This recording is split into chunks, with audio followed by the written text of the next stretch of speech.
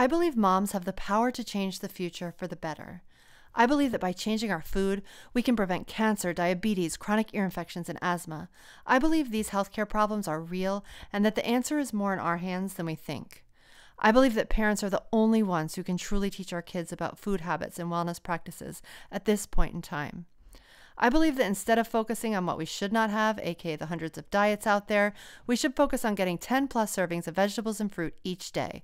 Why not stay positive? I believe that an increase in veggies and fruits can increase focus, lessen sick days, impress dentists, make skin glow, promote weight loss, boost a weak immune system, strengthen nails and asthma and allergies, and so much more. I believe increasing veggies and fruits can lead to dramatic changes because I've seen it happen. I believe that family dinner is the highest return on an hour we might spend in a day. I believe a mom's love can transform her family, her kids, her partner, and her community. But I also believe that to regularly show that love, a mom must take care of herself deeply and meaningfully. I believe moms deserve to feed ourselves our veggies, move our bodies, quiet our minds, and do work we find fulfilling. I believe we can care about work and about home. We don't need to choose. I believe what you do and how you spend your day is important and does not have to only be for everyone else.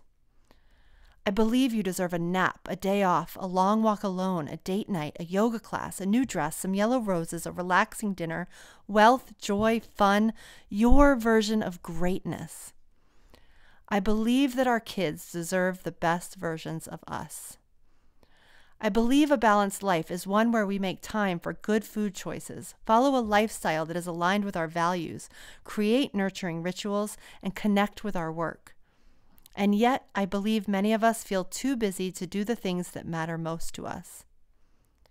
I acknowledge that it can feel hard to focus on wellness in our fast food, Whole Foods food bar included instant gratification culture, but I believe we can all eat well regardless of money or schedule if we have a plan.